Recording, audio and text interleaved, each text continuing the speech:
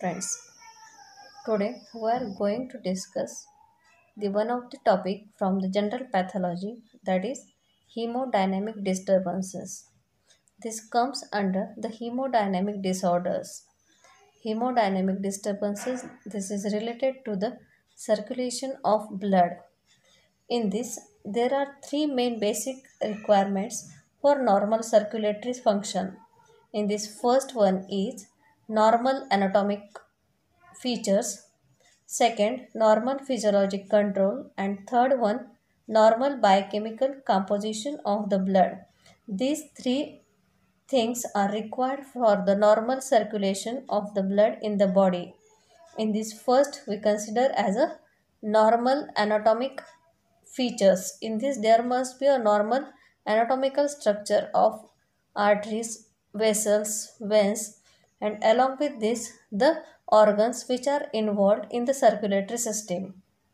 The second factor is normal physiologic control means the organs involved in the circulation must have a proper functions that is proper physiological controls over the circulation and the third important factor that is normal biochemical composition of the blood when the biochemical composition of the blood is normal, then and then only the circulation must be normal in the body.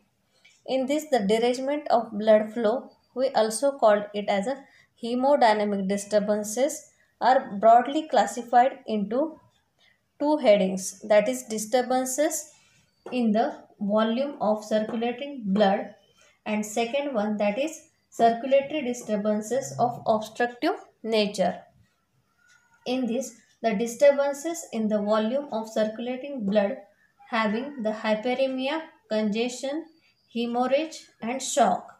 These are related to the volume of circulating blood when the changes in the volume occurs that causes these four conditions.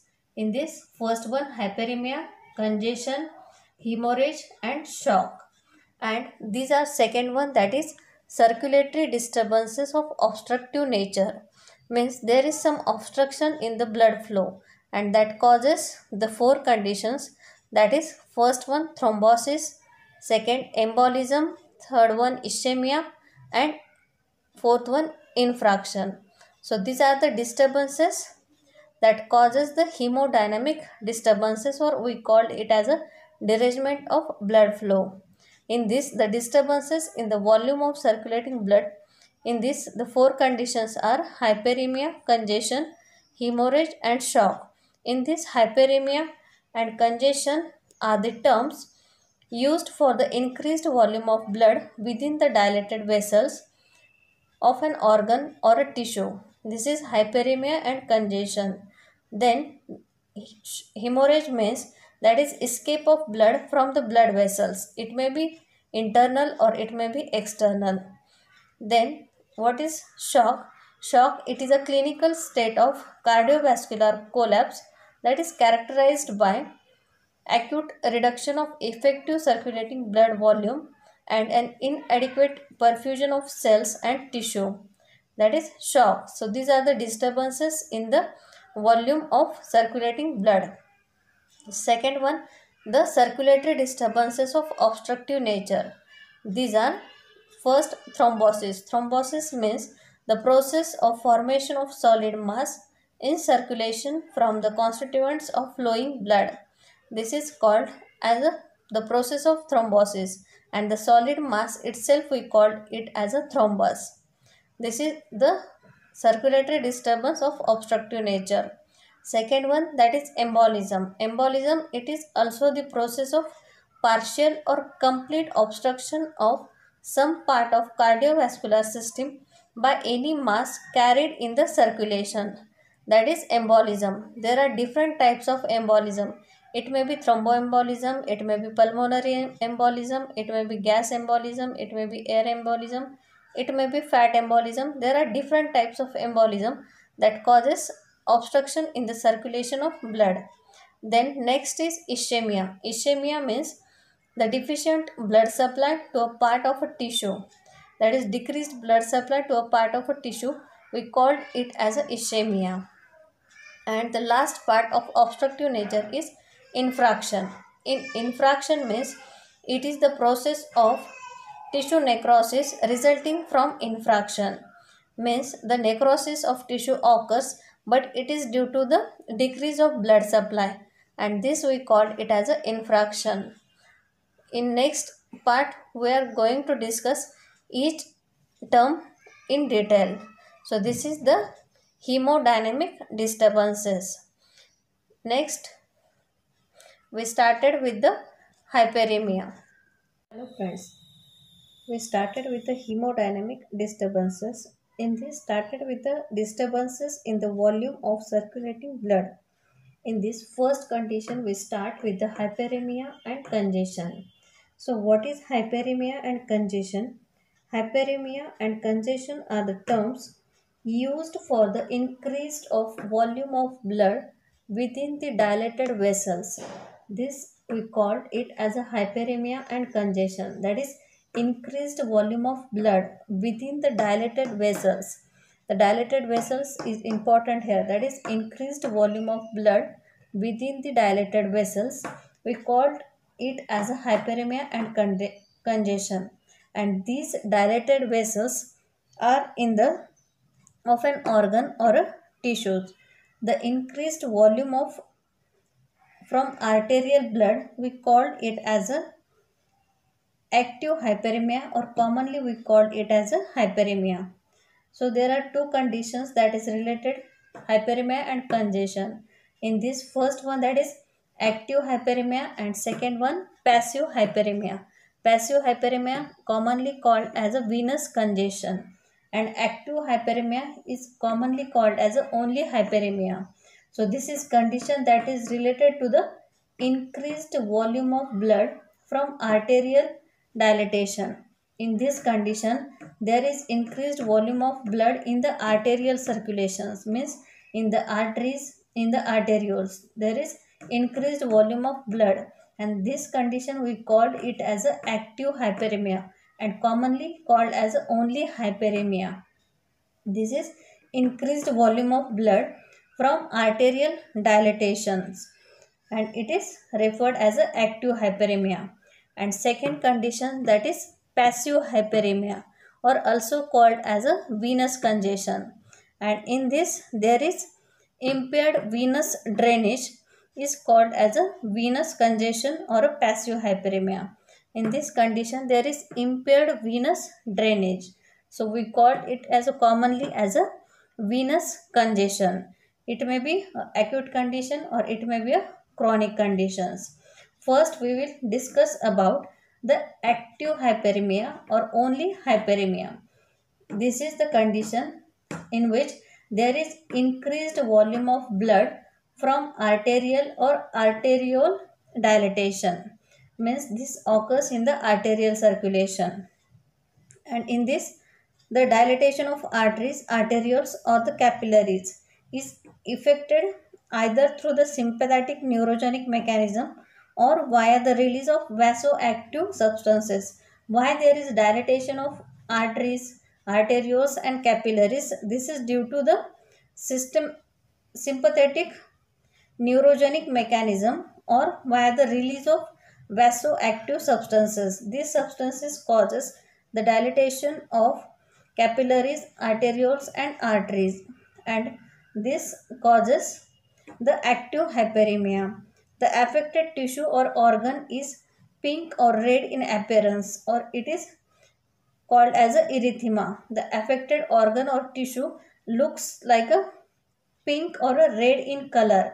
Due to the dilatation of vessels, there is the increase in the blood and this blood having the reddish appearance. Hence, we see the pink or reddish appearance of the affected part. In this we take examples of different active hyperemia. In this first example is of inflammation.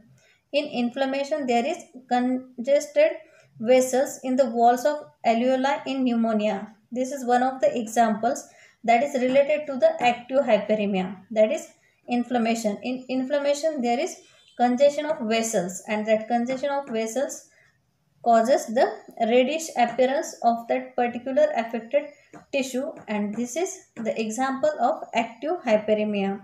Then second example we take it as a blushing that is flushing of skin of face in response to emotions when there is in some emotional changes occurs in the humans that causes the flushing of the skin of face means the there is a dilatation of arterioles or the capillaries in the facial region of the human being and that appearance is called as a blushing. And this is the example of active hyperemia. Then next example is of menopausal flush. In this condition also there is dilatation of art arteries. Then the next example is of muscular exercise. When there is muscular exercise there is the dilatation of arterioles arteries and capillaries and that gives the reddish appearance and this is example of active hyperemia. Then the last example of active hyperemia is high grade fever. In high grade fever there is dilatation of arterial circulation and this causes the reddish appearance of the human being and this is the example of active hyperemia. So these are the different examples of inflammation, of blushing, of menopausal flush, of muscular exercise, of high grade fever. And these are the examples of active hyperemia with increased volume of blood from the arterial dilatation or we commonly it called as only hyperemia.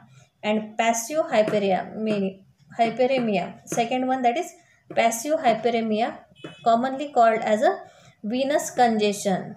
This is second type.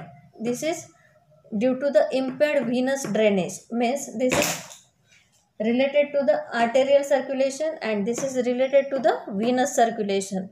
In this condition, there is impaired venous drainage and this impaired venous drainage it may be a acute condition or it may be a chronic conditions in this condition the acute condition is very rare. There is very rare condition that is impaired venous drainage occurs. That is very rare. And the second one that is chronic venous condition congestion it is very common condition. And we called it as a CVC means chronic venous congestion. Or commonly we called it as a venous congestion only. So this chronic venous congestion again of two types that is local venous congestion and systemic venous congestion. So this venous congestion, the dilatation of veins and capillaries due to impaired venous drainage that results in the passive hyperemia or venous congestion or commonly referred as a congestion. So it may be acute or it may be a chronic in this, the chronic venous congestion is a common condition. So, the chronic venous condition again of two types that is local venous congestion and second one systemic venous congestion. So, what is local venous congestion? It results from the obstructions to the venous outflow from an organ or part of a body. This is only related to particular organ or particular part of body that is local venous congestion. In this we take examples of that is portal venous obstructions that occurs in the cirrhosis of the liver. When there is portal venous obstructions occurs but when it occurs when there is cirrhosis of liver that causes the portal venous obstructions and that causes the local venous congestion. Then the next example is of that is the outside pressure on the vessel walls due to different causes. That is when there is outside pressure that occurs on the venous wall that due to it may be due to tight bandage it may be due to some plasters it may be due to some tumors it may be due to pregnancy hernia and that causes the obstructions to the venous circulation and that causes the chronic venous congestion in that particular part or organ of the body that we call it as a local venous congestion. This is first type of chronic venous congestion that is local venous congestion. Now the second type is of systemic venous congestion. So what is systemic venous congestion? It is the engorgement of the systemic veins. When the all over the body, when there is engorgement of the systemic veins that causes the systemic venous congestion or also we call it as a general venous congestion. It may cause due to the heart failure. It may be due to left-sided heart failure or it may be due to right-sided heart failure. When there is left-sided heart failure that causes the chronic venous congestion of lung that we call as the CVC of lung. It is due to the left side heart failure. And when there is right-sided heart failure that causes the back pressure on the systemic circulation and that causes the CVC of liver, spleen, kidney, etc. All the systemic organs are affected in this condition. So this is the second type of chronic venous congestion that is systemic venous congestion that causes due to the heart failure. It may be right, left-sided heart failure or it may be right-sided heart failure. So this is about the hyperemia congestion. We will again revise it. That is hyperemia and congestion it is the increased volume of blood within the dilated vessels. That is called as a hyperemia and congestion. It may be active hyperemia or it may be passive hyperemia. Active hyperemia it is related to the arterial circulation. Passive hyperemia it is related to the venous circulation. When there is dilatation of arterial circulation that causes active hyperemia commonly called as a only hyperemia also. Examples of are inflammation, blushing, menopausal flush, muscular exercise, high grade fever. Second one that is passive hyperemia commonly called as a venous congestion and it is due to the impaired venous drainage. It may be acute venous congestion or it may be chronic venous congestion. It is acute venous congestion. It is very rare condition. Chronic venous congestion it is a common condition.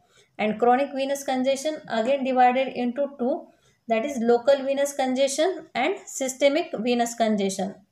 Local venous congestion that is related to only organ or part of a body. That is obstruction to or particular part or organ of the body. And systemic it is the engorgement of the total systemic circulation in the body.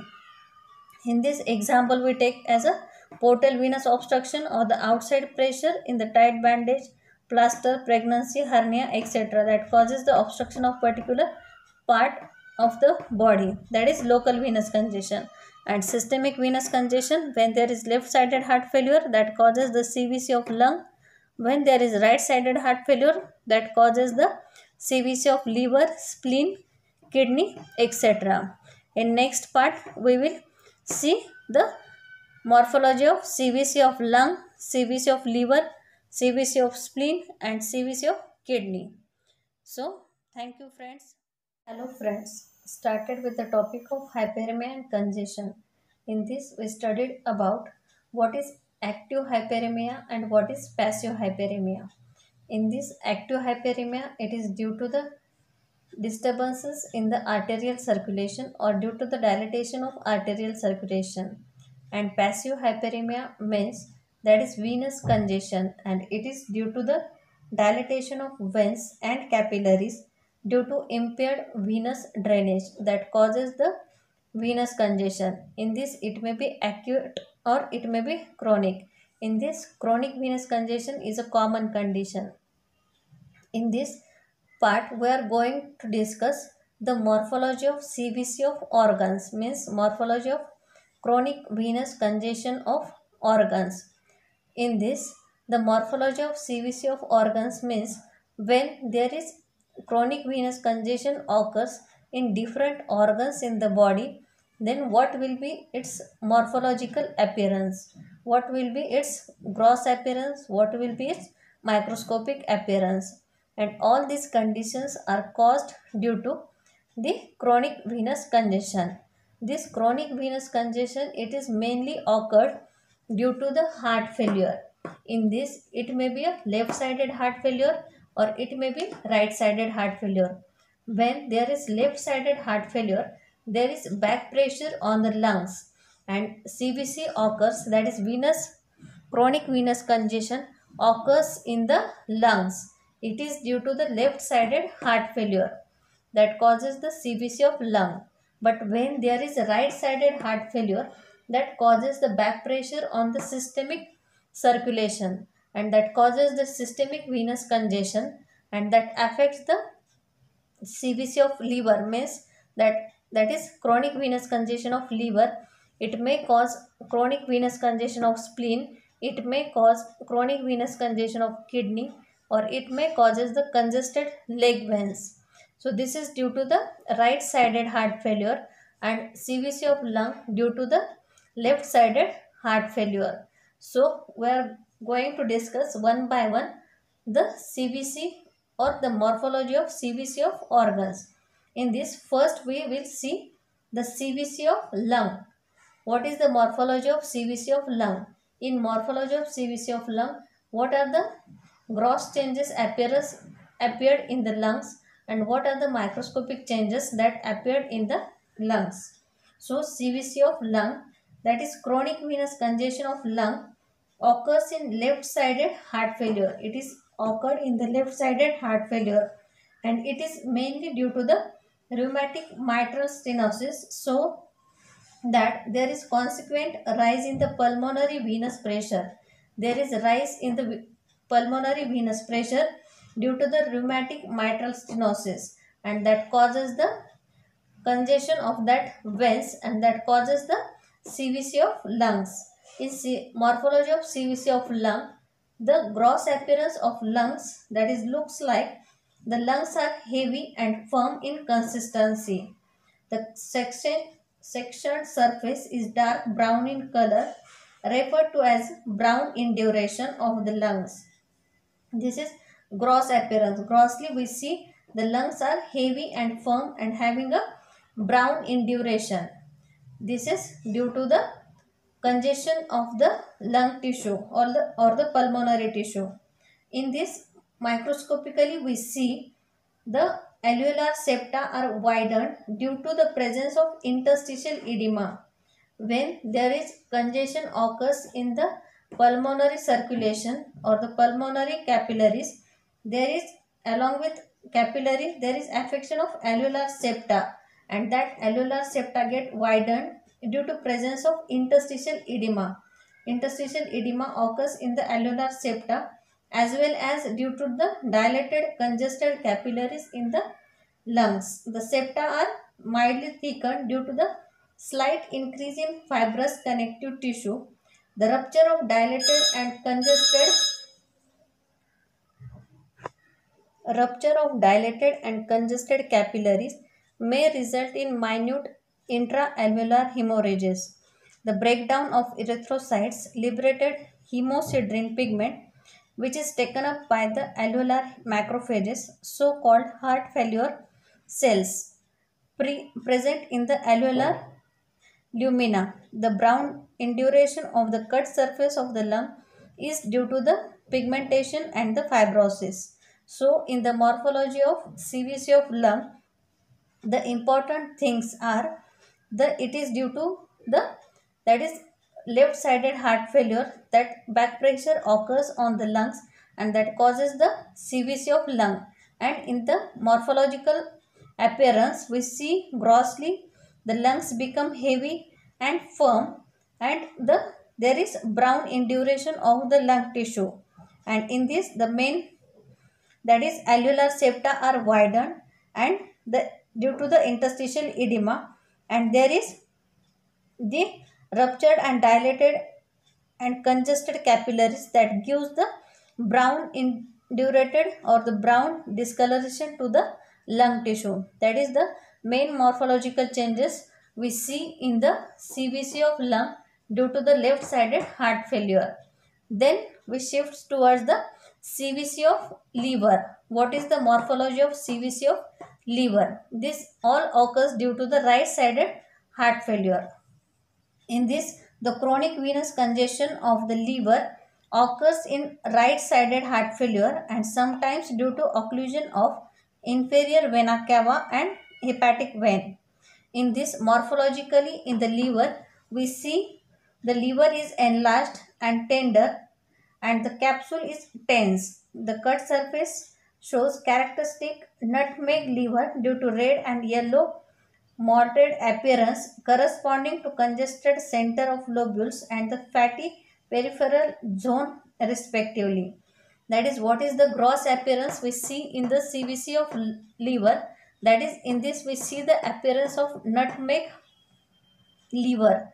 The appearance itself it called as a nutmeg liver means there is dark and faint lines seen on the liver tissue that is of that is congestion of venous circulation and it is of fatty changes. The fatty changes and the venous circulation that is congestion that gives the appearance of nutmeg appearance in the liver. The size of the liver is enlarged in the CVC of liver. In microscopic changes we see the changes of congestion are more marked in the centrilobular zone due to severe hypoxia than in the peripheral zone. These changes mostly appears, appeared in the that is centrilobular zone as compared to the peripheral zone. The central veins as well as the adjacent sinusoids are distant and filled with blood. The centrilobular hepatocytes undergo degenerative changes and eventually centrilobular hemorrhagic necrosis seen in the liver. This is microscopic appearance seen in the CVC of liver. So this is the main changes that occurs in the morphology of CVC of liver is that is there is increased size of the liver and there is nutmeg appearance of the liver. This is characteristic feature of morphology of CVC of liver that is nutmeg liver appearance and in this we see the changes of congestion are more marked in the centrilobular zone than in the peripheral zone. Then there is fatty change in the hepatocytes. We see some fatty changes in the hepatocyte cells.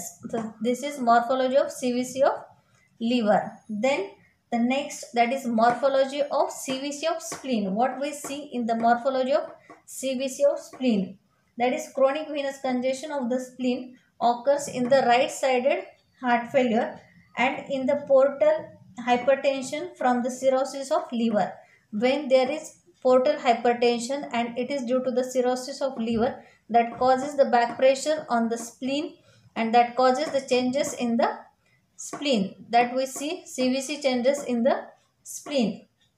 In this grossly we see the spleen is enlarged in enlarged up to that is about 250 gram in early stage. But when it is deeply congested the size may go up to 500 to 1000 gram. That is the normal size of the spleen is only 150 gram but after the CVC of spleen it may go up to 500 to 1000 gram also. The organ is deeply congested it is tense and cyanotic in appearance. This is gross appearance of the spleen. Then in microscopic appearance of spleen we see the red pulp shows congestion and marked sinusoidal dilatation with areas of recent old hemorrhages. The hemorrhage may get organized and form Gamna-Gandy bodies and sideroblastic nodules. The characteristic is of that is Gamna-Gandy bodies or the sideroblastic nodules seen in the spleen. Then the advanced stages seen more commonly in the hepato, hepatic cirrhosis is called the congestive splenomegaly. That we see the congestive splenomegaly in the cirrhosis of liver when there is increased portal hypertension. So these are the morphological changes that we see in the CVC of spleen. Then next one that is CVC of kidney. In CVC of kidney, grossly we see the slightly enlarged and medulla is congested of the kidney. That is, it is size is increased and medulla is congested. And microscopically we see the changes are rather mild. The tubules may show the degenerative changes like cloudy swelling and fatty change. The glomeruli may show the mesangial proliferation. So these are the changes morphological changes that we see in the CVC of kidney. So these are the different changes that seen in the different part of the body that is morphological morphology of CVC of lungs, morphology of CVC of liver, morphology of CVC of spleen and morphology of CVC of kidney. And all these changes are due to the heart failure. In this you have to remember the CVC of lung that occurs due to the left-sided heart failure and CVC of liver, spleen, kidney and other systemic body that occurs due to the right-sided heart failure and this causes the chronic venous congestion. We also call it as a that is passive hyperemia but commonly we call it as a chronic congestion or the venous congestion and it is due to the dilatation of the veins and the capillaries due to impaired venous circulation or the venous drainage. So this is the morphology of CVC of different organs that is lung, liver, spleen, kidney. So this is all about hyperemia and congestion that we studied. What are the what is hyperemia, what is congestion, what is active hyperemia, what is passive hyperemia, then examples of active hyperemia, examples of passive hyperemia in the form of local venous congestion and systemic venous congestion. So this is all about hyperemia congestion. So thank you friends.